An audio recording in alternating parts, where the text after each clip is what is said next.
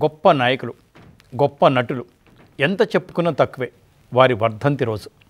వారే ఎన్టీ రామారావు గారు. ఎన్టీ రామారావు గారి పేరే ఒక శక్తి ఒక యుక్తి. మనందరికి కూడా ఆక్సిజన్.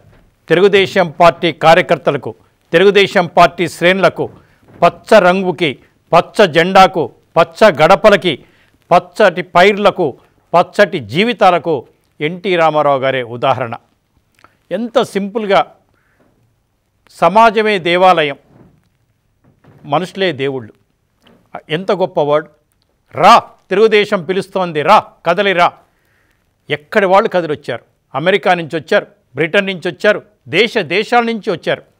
ఆ మహనీయుడి కోసం పదహారు పదిహేడు గంటలు కూడా అలాగే ఉండిపోయే వాళ్ళంటే వారు అదృష్టం అనుకోవాలి.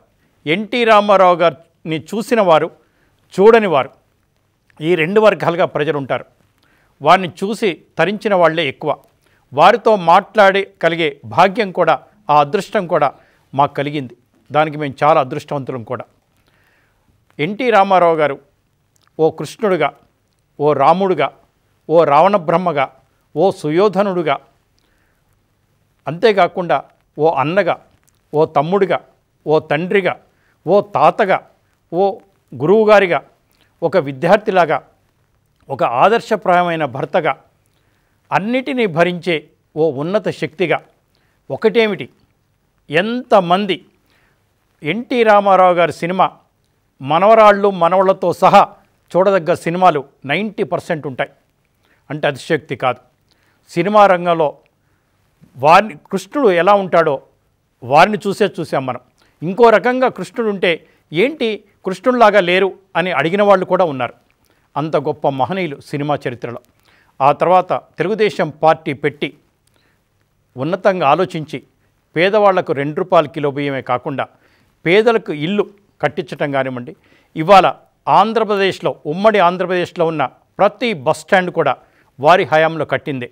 ఇమ్లిబన్ బస్ స్టేషన్ కానివ్వండి గుంటూరు కానివ్వండి విజయవాడ కానివ్వండి జగిత్యాల కరీంనగర్ నిజామాబాద్ మెదక్ సంగారెడ్డి ఎక్కడున్నా సరే వారి హయాంలో కట్టిందే.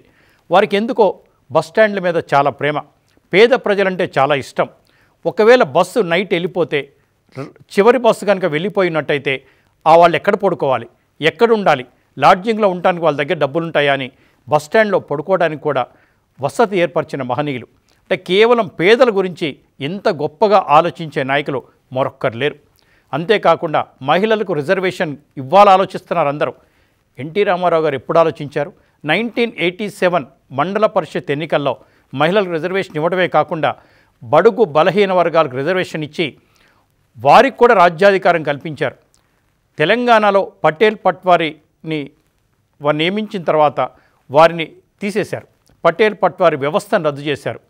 ఆ తర్వాత మండల ప్రెసిడెంట్లుగా జెడ్పీటీసీలుగా సర్పంచ్లుగా జిల్లా పరిషత్ చైర్మన్గా మహిళలు ఎన్నికవుతూ ఉంటే బడుగు బలహీన వర్గాల వారు ఎన్నికవుతుంటే అందరూ ఆశ్చర్యపోయారు. ఏంటి ఒకప్పుడు సమితి ప్రెసిడెంట్ నైంటీ పర్సెంట్ కొన్ని వర్గాల వారే ఉండేవాళ్ళు. మాకు కూడా రాజ్యాధికారం వస్తుందా? మేము కూడా అసెంబ్లీలో కూర్చోగలమా? మేము కూడా జిల్లా పరిషత్లో కూర్చోగలమా? మేము కూడా సర్పంచ్ స్థానంలో కూర్చోగలమా? అని అంబేద్కర్ గారు రాసిన రాజ్యాంగానికి పూర్తి స్థాయిలో ఎన్టీ రామారావు గారు చేసినంత మేలు ఎవరూ చేయలేదు. ఆ మహనీయుడి గురించి ఎంత చెప్పుకున్నా తక్కువే. ఎన్ని రోజులు చెప్పుకున్నా తక్కువే. ఎన్ని పుస్తకాలు రాసినా తక్కువే. దాదాపు పది పదిహేను మంది పుస్తకాలు రాస్తుంటారు అయినా ఎక్కడో ఇంకా మిగిలే ఉంది. వారి చరిత్ర పూర్తి కాలేదు అని అనిపిస్తూ ఉంటుంది. నేను ఇలా ఎంతసేపు అయినా మాట్లాడగలను. వారిని నేను వ్యక్తిగతంగా కలవడం కానీ వాళ్ళ కాళ్ళకు నమస్కరించడం కానీ ఎన్నో విషయాలు మాట్లాడటం కానీ దానికి కారణం చిరుమామిళ్ళ వెంకట నరసయ్య గారు. నా అదృష్టం ఇవాళ వారు నా స్టూడియోలో ఉన్నారు. చాలా సన్నిహితంగా ఉండేవాళ్ళు. రాజకీయాలు కూడా మాట్లాడుకునేవాళ్ళు. సీనియర్ ఐపీఎస్ ఆఫీసర్గా వారు రిటైర్ అయ్యారు.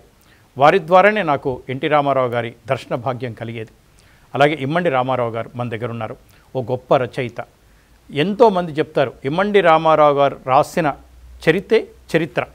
మిగతా వాళ్ళు రాస్తే చరిత్ర కాదు. స్టార్టింగ్ నుంచి ఎండింగ్ వరకు మీకు సినిమా గురించి నిజాలు కావాలన్నా వాస్తవాలు మాత్రమే కావాలన్నా వారి వీడియోలు చూడండి. వారు రాసిన పుస్తకాలు చూడండి. ఇంకా నేను అడిగాను కూడా పుస్తకాలు కూడా రాయమని అడిగాను. ఒక మంచి చరిత్ర ఒక పుస్తకం చదివితే మంచి నిద్ర వస్తుంది. ఒక పుస్తకం చదివితే మీకు చాలా ఓపిక వస్తుంది. ఒక పుస్తకం చదివితే సమాజానికి మేలు చేయాలన్న ఆలోచన కూడా మీకు కలుగుతుంది. ఎన్టీ రామారావు గారి చరిత్ర చాలామంది రాశారు. దయచేసి చదవండి చదివించండి. అది కూడా మహాభారతం రామాయణం భగవద్గీత లాంటిదే. దయచేసి ఆ మహనీయుడు మళ్ళీ ఎక్కడో పుట్టాలనే కోరుకుందాం మనం.